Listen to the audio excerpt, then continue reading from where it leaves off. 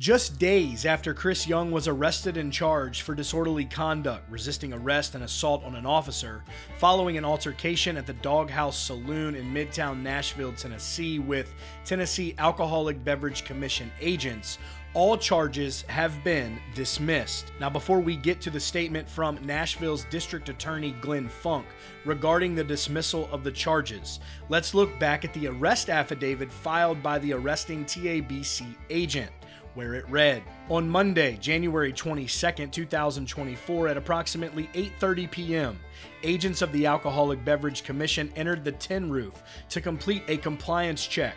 When we walked into the bar a man sitting at the bar later found to be mr young had his id in his hand above his head. Special agent fitzpatrick went over and used our age id application on our phone to check it after checking his ID, Special Agent Fitzpatrick gave it back to Mr. Young and came back over to where the rest of us agents were standing waiting for ABC cards. Mr. Young started asking questions at that time that were answered and then began video recording us. We left the bar after finishing our check and went to Doghouse next door to continue our compliance checks. While in the bar, Mr. Young and multiple friends followed us to the bar and began talking to people at the bar and the bartender. All agents went to the back of the bar to check ABC cards. After checking the ABC cards, we started walking to the door. While walking to the door, Mr. Young put his hands out to stop me from leaving the bar and stuck me on the shoulder. I then pushed Mr. Young to create distance since I had no idea of who Mr. Young was or what he had.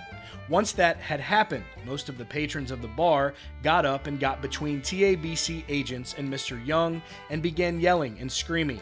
Special Agent Amoresi started trying to talk to Mr. Young, who began walking backwards and not complying with Special Agent Amoresi's orders. Special Agent Odin and Special Agent Amoresi had to physically detain Mr. Young to put him in handcuffs. While all agents were trying to leave the bar, multiple people that were with Mr. Young started following agents and making the incident hostile. Mr. Young's eyes were bloodshot and watery, as well as having slurred speech. But then, following the affidavit, security camera footage was obtained and shared by NC5 reporter Nick Beres onto his Facebook page, which raised immediate concerns surrounding the legitimacy of Chris Young's arrest. Here's the video.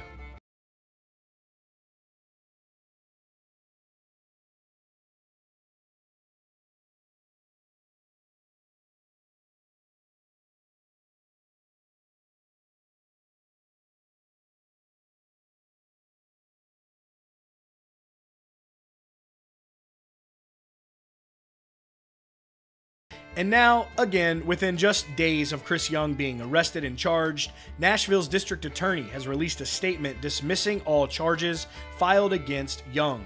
Glenn Funk released the following. After a review of all the evidence in this case, the Office of the District Attorney has determined that these charges will be dismissed. Chris Young's attorney also responded to the announcement of all the charges being dismissed. Attorney Bill Ramsey stated, Mr. Young and I are gratified with the DA's decision clearing him of the charges and any wrongdoing. So, as always, guys, thank you all for tuning in here at CountryCast. That will be all for today's video.